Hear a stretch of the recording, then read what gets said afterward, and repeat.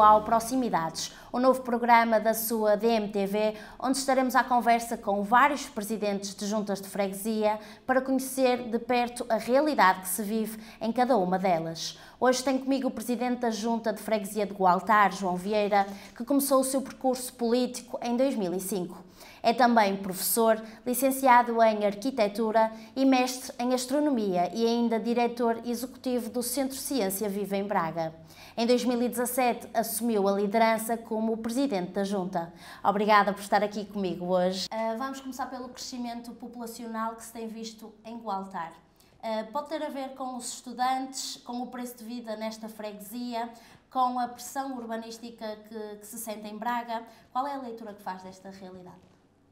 O crescimento do Altar tem a ver com muitos fatores.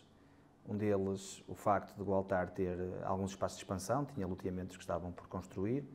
uh, e obviamente também pela qualidade que nós temos na, na, freguesia. A oferta de serviços hoje é das mais completas do Conselho.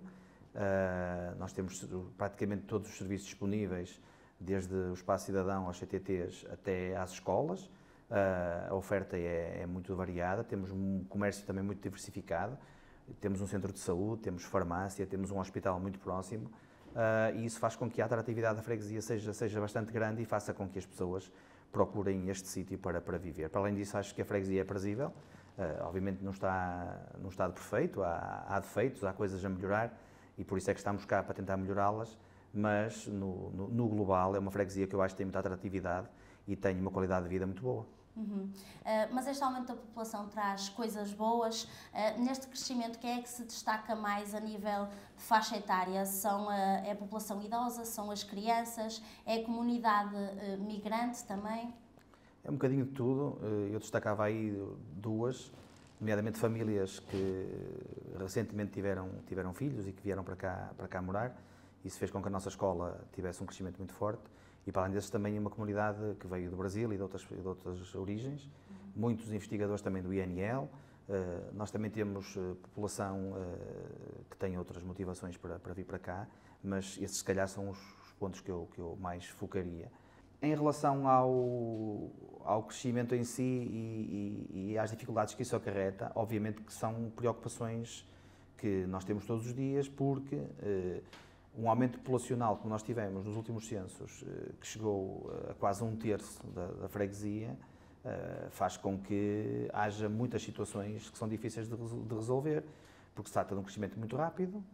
uma freguesia que tem, obviamente, infraestruturas com algumas dificuldades, nomeadamente viárias e, e loteamentos e, e, áreas que não estão consolidadas, e isso, obviamente, nos traz problemas, porque as pessoas, depois de estarem cá a, a residir, tem exigências às quais nós temos que responder e muitas vezes a velocidade de resolução e a resposta não é no tempo que as pessoas gostariam que fosse e daí a dificuldade muitas vezes de lidar com isso. Agora, crescer é bom, eh, ter mais pessoas é bom, nós temos, nós temos as escolas eh, com, com muitos alunos, eh, temos muita vitalidade, muita diversidade na freguesia, há muito associativismo, há muita mobilização à volta do associativismo, as pessoas mobilizam-se à volta desse tipo de, de questões e isso é muito positivo porque a comunidade uh, tem muita mais dinâmica do que teria noutras, noutras circunstâncias. E um bom exemplo, se calhar, e o epílogo de tudo isto é, é a nossa festa de São Miguel, que este ano teve uns milhares de pessoas na rua e, e, e não, não, tinha acontecido, porque a festa nunca tinha sido realizada, mas a verdade é que nos últimos anos ela foi crescendo, interrompida depois pela pandemia, mas este ano tivemos muitas pessoas na rua e isso é sinónimo de que temos uma freguesia com, com, com, com força, com vitalidade e, e em, crescimento, em crescimento acelerado o que traz para nós eh, algumas mais-valias e também algumas preocupações. Um, da população que vive aqui, o desemprego é algo que o preocupa ou o altar serve só de dormitório ou maioritariamente de dormitório? O desemprego está atualmente nos níveis mais baixos de sempre. Obviamente que continuamos a ter um conjunto, uma parte da população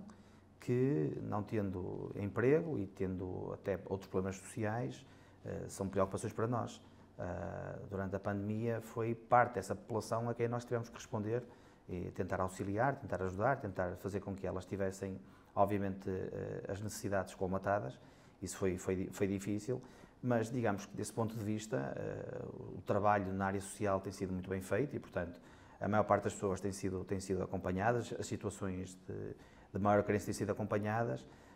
Eu destacava aqui, se calhar, os problemas têm surgido exatamente por causa da imigração, pessoas que chegam de novo e que têm dificuldades de integração, alguns estudantes da Universidade do Minho que vêm para cá e que vêm, por exemplo, das comunidades africanas de língua portuguesa e que também muitas vezes recorrem a nós por algumas dificuldades e, e situações relacionadas com, com, com, com a, a, parte da, da residencial, de, de, situações em que não há resposta, porque também tem sido uma dificuldade nos últimos anos a resposta para os estudantes e também para, este, para, estes, para estes cidadãos que vêm para a investigação, vêm fazer mestrados, vêm fazer outro tipo de, de, de, trabalhos na universidade e que depois têm alguma dificuldade e que nós temos tentado colmatar e ajudar, mas no, no geral a área social da, da freguesia do Altar está está acompanhada e não temos grandes preocupações com, com isso e, e, quem, e quem necessita basta recorrer a nós e será obviamente encaminhado. Quanto aos idosos, houve recentemente um, investimento num lar, Felizmente Lar. Uh, qual foi o intuito disto ou porquê é que foi necessário abrir um lar aqui em Gualtar? Não foi por ser em Gualtar em concreto, a oferta dessa área é reduzida, o Conselho estava deficitário, Uh, na altura surgiu a oportunidade, porque nós tínhamos um edifício que estava devoluto, que seria um espaço que se poderia ajustar e adaptar a fazer uma infraestrutura dessas. Foi um, digamos, um conjunto de oportunidades, foi, um, foi basicamente uma, uma questão de tudo se conjugou para que, para que pudesse ser igualtar aquela instalação em concreto. Uh, o, o, projeto é fantástico, foi inaugurado recentemente pelo, pelo. Primeiro-Ministro. Uh, e, e, e, obviamente é uma estrutura extraordinária, de uma qualidade acima da média, que, que, nos orgulha muito, porque obviamente o edifício ainda é da freguesia e, e, os próprios fregueses vão ter benefícios com o facto de termos cá, de termos cá um lar uh, e esperamos que muitos gualtarenses no, no futuro possam usufruir dessa, dessa infraestrutura, porque também foi por isso que ele foi criado em Gualtar e é por isso também no contrato temos preferência para os cidadãos de Gualtar e para as pessoas da, da própria freguesia terem também o seu trabalho lá, algumas delas, e isso é bom para, para, para todos. Obviamente não, não é possível responder com, com, com, com, aquilo que as pessoas gostariam que fosse no, no, no global e, e chegasse a toda a gente, isso não é possível mas já estamos a trabalhar, por exemplo, numa nova infraestrutura, também vai nascer em Gualtar, um terreno sinalizado por nós, que o Sr. Presidente da, da Câmara cedeu e que vai ser feita uma creche, eh, que é o, o sítio dos miúdos. As crianças é algo que o preocupa? Há creches suficientes na, na, na freguesia de Gualtar ou é preciso as crianças irem para, para fora da freguesia? Uh, há necessidade de ter mais uh, creches? É assim, as creches em Braga e no nosso, no nosso país são deficitárias sempre. Uh, em Gualtar, felizmente, temos uma boa oferta até do privado e, portanto, desse ponto de vista, alguma cobertura. Também temos o centro paroquial que também faz essa valência, mas era preciso mais porque nós temos infraestruturas no nosso território,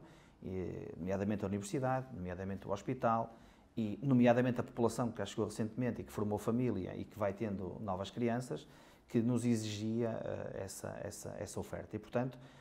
a criação de uma creche tem a ver com isto, tem a ver com esta resposta, tanto para os trabalhadores do hospital, até porque é uma creche diferenciada que vai funcionar basicamente 24 horas por dia, quase em full time, permitindo que os trabalhadores que têm turnos eh, tenham ali também um espaço onde possam colocar as suas crianças. Os próprios, os próprios funcionários, trabalhadores e investigadores da Universidade do Minho eh, têm também ali um espaço em que podem deixar as suas crianças e, no fundo, responder também às exigências da população porque, obviamente, fala-se em creches gratuitas, o país vai ter que ter creches gratuitas, mas a verdade é que a oferta que nós temos neste momento é muito deficitária em relação àquilo que é a necessidade das pessoas. Eh, e neste momento a população houve uma fase em que decresceu, pelo menos os nascimentos foram, foram diminuindo, mas acho que estamos numa fase de crescimento agora e nos próximos anos julgo que será uma necessidade eh, cada vez mais premente e daí também eh, ser importante para nós a criação dessa infraestrutura.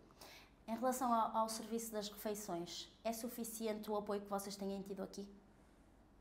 O serviço de refeições eh, é feito por nós, portanto, somos nós que o,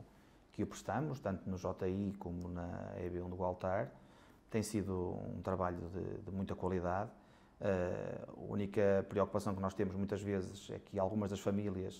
uh, e, mesmo aquelas que têm escalão não pagam, mas algumas que têm escalões B e que, não têm escalões, muitas vezes uh, não conseguem acompanhar e, geram, geram algumas dívidas, isso sim preocupa-nos de certa medida. Obviamente aqui em Gualtar ninguém fica sem comer, como é óbvio, portanto todas as crianças que vão para a escola uh, tem, obviamente, a refeição garantida e, e, é um serviço que nós queremos continuar a prestar com, com, com muita qualidade. Uh, e é, é, importante que sejam uh, serviços de proximidade. Portanto, o facto da Junta gerir este serviço é uma, é uma questão importante para, para as freguesias e, e, até de proximidade às pessoas que nos conhecem, que falam connosco e que, e que muitas vezes nos dão sugestões até de melhoria, e isso é bom. E, portanto, essa proximidade é, é importante e nós queremos mantê-la, obviamente, até porque nós temos noção que, e, e, falo, falo não só do período da pandemia, mas como quase sempre, uh, houve, houve, situações em que se calhar a única refeição que algumas crianças fazem por dia é aquela. E, portanto, cada vez mais importante que nós tenhamos um serviço que faz esta oferta com, com muita qualidade e, e, e, que, e que tenha, pelo menos, uh, essa valência de poder colmatar algumas necessidades sociais. E, portanto, o facto de nós termos cá instalado e fazermos o serviço de refeições nas escolas é para nós algo que, que, que é inalienável para nós, portanto, é, é, para manter e para, e para potenciar sempre. Um, no geral, então, quais, quais são as suas maiores dores de cabeça ou quais são os principais problemas sociais que preocupam aqui a Junta de Freguesia? A minha maior dor de cabeça às vezes é ter tempo de responder às coisas. Uh, já agora aproveito para dizer isto porque é importante.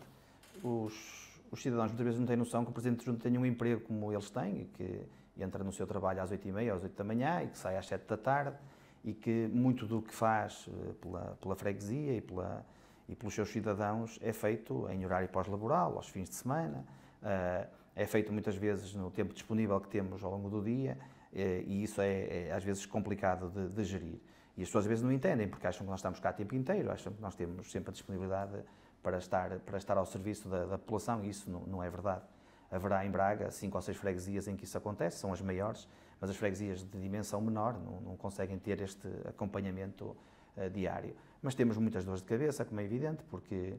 além de questões sociais, além de questões relacionadas com problemas do dia a dia das pessoas, eh, nós temos nos últimos tempos temos problemas nas ruas com, com buracos, temos temos situações de estacionamento que são difíceis de resolver. Não é algo que vocês possam resolver sozinhos, precisam do apoio da Câmara Municipal, certo? Sim, a questão, a questão que é outra questão importante de, de tratar é que as freguesias, hoje em dia, o financiamento das freguesias é uma questão que tem que ser, eh, nos próximos anos, revista com toda, com toda a certeza, porque, para terem uma ideia, as receitas próprias da freguesia do Altar eh, rondarão os 100 mil euros ou coisas aqui que o valha. Portanto, muito, muito curtas para aquilo que são as necessidades, até porque temos funcionários a quem temos que pagar salários e, portanto, basicamente Basicamente, quem recebe os impostos das, das freguesias, é, normalmente é o município, através do IMI, da derrama e de outros impostos, eh, e basicamente, para terem, para terem uma ideia, eh, os, os cidadãos do altar, eh, por cada quatro anos, deverão pagar cerca de 6 milhões de euros em impostos. E, portanto, é parte desse dinheiro que a Câmara tem que depois disponibilizar às freguesias para podermos fazer as obras, as intervenções, as, as grandes, as grandes as grandes uh, infraestruturas que nós pretendemos desenvolver na, na, freguesia e que sejam públicas, tem que ser através desse, desse financiamento. E há muitas vezes uma dificuldade grande em, em, em conseguirmos uh, esgrimir com o município quais são as verdadeiras necessidades e lutar um bocadinho contra isso. Obviamente que o município não tem que responder a uma freguesia, tem que responder a 37 e, portanto, uh, muitas delas, se calhar, num patamar de desenvolvimento, se calhar até abaixo da freguesia de Gualtar e, e percebendo que, que, que, também tem que se investir mais nas que estejam mais, mais para trás e que precisem mais de alguns investimentos, mas Gualtar nos últimos anos eh, tem ficado aquém daquilo, pelo menos que eu considero, que é a necessidade de investimento. Eh, guardamos eh, duas obras, pelo menos, que eu acho que são muito, muito, muito importantes e, e, que são muito urgentes e que estão em concurso público, que é o JI, a obra do JI de Gualtar, que está há mais de quatro anos em concurso público, e é a B1 do Gualtar, que também está a aguardar eh, intervenção, mas para além dessas, eh, nós temos um conjunto de obras e porque nós, junta de freguesia, eh, olhamos para isto numa perspectiva muito de, de, de, de futuro, ou seja, temos um projeto para, para, a freguesia e há muitas situações sinalizadas que, que preocupam os nossos cidadãos há, há muitos anos e, e, que não estão ainda concretizadas. Eu posso lhe dar alguns exemplos, e um bom exemplo é o campo de futebol, que há muitos anos que está previsto. O projeto foi entregue no município já há cerca de três anos e estamos a aguardar desenvolvimentos sobre ele. Temos o pavilhão da EB23, que é usado pela escola e é usado pela, pela, pelos nossos fregueses, pelas pessoas da freguesia, e que também aguarda uma intervenção urgente e que também estamos a aguardar. Há uma intervenção muito importante que tem projeto concluído há uns 5 ou 6 anos e que também não avançou ainda, que é o cais de embarque e desembarque na zona da Igreja Nova, é a B23 e a B1, que é um projeto que nós, que nós queremos fazer. E para além disso, agora temos também o projeto do novo Parque de Lazer e Merendas, que pretendemos desenvolver. Temos um centro cívico para fazer aqui na nossa Escola Velha, portanto, os projetos estão lançados, como disse, uns mais urgentes do, do que outros, uh, mas, mas continuamos ainda na expectativa de, pelo menos este ano, parte desses projetos que, que eu disse sejam concretizados e há intervenções que temos a certeza que serão, obviamente, concretizadas. E vou-lhe dar um exemplo de uma coisa que tem a ver com o crescimento da freguesia e que nos tem dificuldade, dificultado, em certo modo, a, a, gestão, que é, por exemplo, a falta de espaços para as crianças poderem brincar nos novos loteamentos, que cresceram muito rapidamente nos últimos dois, três anos e que hoje precisam de, de resposta. E, por exemplo, o município comprometeu-se em 2023 em executar dos cinco parques eh, que nós eh, pedimos para que sejam executados em, em vários loteamentos, pelo menos três vão, vão em breve eh, poder arrancar, um na Quinta do Capa, um na professora Manela Barroso e outro na zona de Valdeste. nessas três arrancará já em 2023, pelo menos é o compromisso que a senhora vereadora Olga Pereira tem com a freguesia e, e, e responder pelo menos também a, essa, a essas valências e entre outras muitas delas eh, há muitos anos, eu diria há décadas, que estão por resolver. Eh, o plano de promenor da zona da Amália Costa Lima, que tem umas quantas ruas sem saída, uma entrada numa única rua para muitos, muitos muitas centenas de fogos, eh, muitas pessoas a circularem nessa, nesses locais sem condições, sem espaço para estacionamento, sem fluidez de trânsito, e, como esses, muitos, muitas situações em igualdade de ruas que desembocam em, em zonas sem saída porque os loteamentos não tiveram a sua a sua ligação seguinte, e isso é muito preocupante para nós porque causa, obviamente, no dia a dia das pessoas muitas, muitas situações difíceis de, e nós próprios temos falado em responder.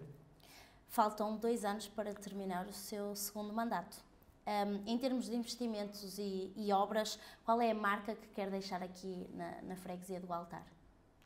Quem vem para um, digamos, um desafio destes, não é? No fundo, vem por cidadania, vem trabalhar para a população, para a sua população. Esta é a terra que me viu crescer, portanto,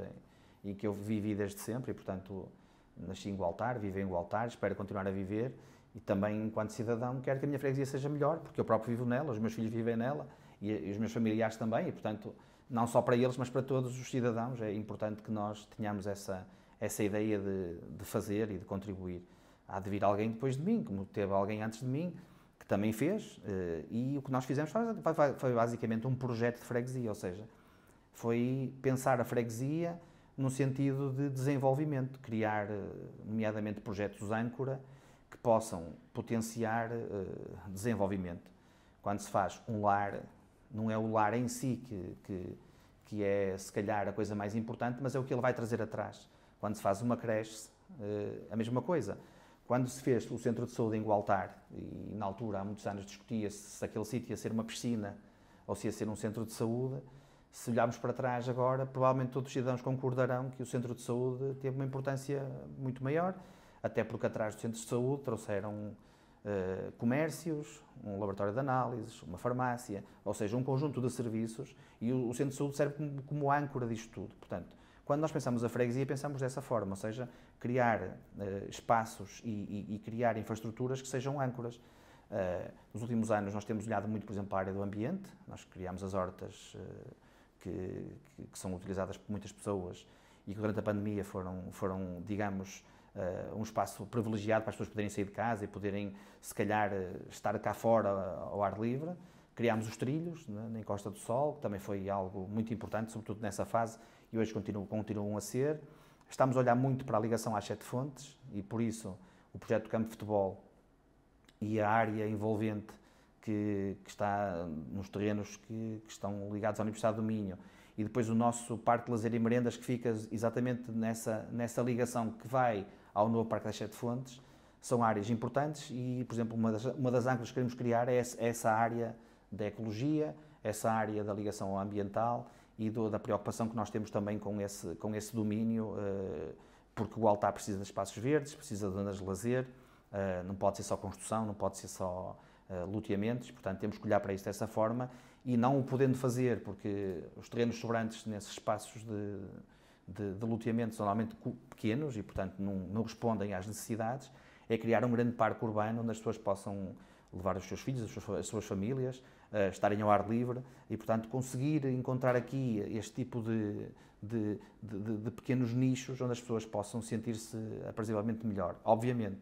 que esta qualidade ou este tipo de espaços vai trazer pessoas e, portanto, continuaremos a ter desafios no futuro, porque quando a gente cria atratividade e, há qualidade de vida, eh, as pessoas procuram as nossas áreas de território, isso também tem um custo para, a própria população local, porque os preços inflacionaram muito e muitos gualtaredes tiveram que sair da freguesia por não ter condições de viver cá, porque aumentaram as rendas, porque aumentaram os terrenos, porque aumentaram os preços da construção e, portanto, foi muito difícil para alguns ter que abandonar a nossa freguesia, mas obviamente que, e por exemplo, no âmbito das Sete Fontes, do Parque das Sete Fontes, vamos ter alguma área de construção, nesta zona da franja que, que envolve o Parque das Sete Fontes, e esperamos aí encontrar algumas soluções também para essas famílias e para esses filhos do altar que querem cá residir.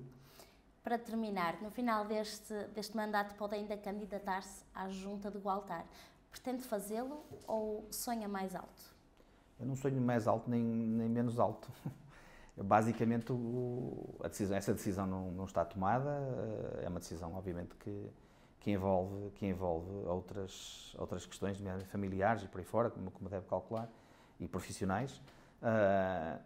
estou a fazer aquilo que eu consigo fazer melhor e que me sinto melhor a fazer neste momento, que é tentar levar uh, a que a freguesia possa, possa melhorar e possa ser cada vez no seu dia a dia melhor e mais uh, aprazível para as pessoas que cá, que cá habitam.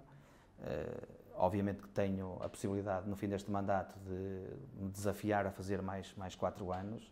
Uh, não sei o que vai acontecer nessa, nessa altura, mas, mas, tenho que dizer, porque, porque é verdade, uma, uma junta de freguesia não é o seu presidente. Uma junta de freguesia são, no caso do Gualtar, são cinco, cinco pessoas que estão no executivo, são outras tantas que estão, que estão na Assembleia de Freguesia e, e, e, no próprio projeto que nós levamos a eleições, e portanto, no caso, no caso do, do Gualtar, são, são umas dezenas de pessoas, e no, no meio delas haverá e há eh, muitas pessoas com muita qualidade que poderão, obviamente, no futuro serem, serem os timoneiros da, da freguesia e que, com certeza, o altar tem a obrigação de encontrar uh, pessoas com, com essa qualidade para poderem para poderem levar isto adiante. No meu caso, se tiver que o fazer, obviamente por, por, por todas as razões, eh, cá estarei. Não estando como presidente, cá estarei na mesma, obviamente, porque, porque é assim que eu, que eu estou na vida e, portanto, é assim que, que nós temos que estar enquanto, enquanto cidadãos uh, e, portanto, estarei sempre disponível para, para, para o que for necessário. Agora, o que acontecerá em 2025, sinceramente, neste momento, estou mais preocupado, honestamente, em, em fazer o meu trabalho, em, em, desenvolver o meu projeto, em conseguir convencer o município a levar avante aquilo que são os nossos, os nossos projetos e as nossas, as nossas obras. Dou-lhe dou um exemplo. Há uma obra muito importante que o Altar tem que, tem que, tem que fazer, uh, até porque a Universidade do Minho e o Hospital trouxeram pressões uh, fortes desse, desse, desse ponto de vista, que é a nossa Nacional 103, que precisa de uma intervenção uh, urgente que vá desde a entrada da universidade até, até ao Fojo,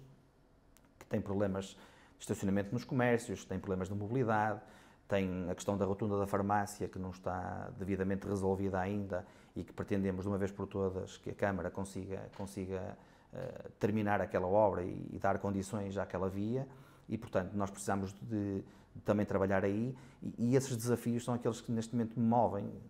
Na altura, quando chegar ao fim do mandato, havemos de fazer em conjunto com a minha equipa uma avaliação e decidirmos o que é, o que é melhor nessa altura para a freguesia, para os cidadãos do altar e, obviamente, em democracia, os cidadãos irão decidir o que é que querem, o que é que pretendem mais, eh, se continuam com a nossa equipa ou se, obviamente, escolhem outra para liderar o, o futuro. Obrigada. Resta-me agradecer ainda a quem está desse lado e dizer também que em breve teremos um novo episódio do Proximidades. Obrigada e até uma próxima.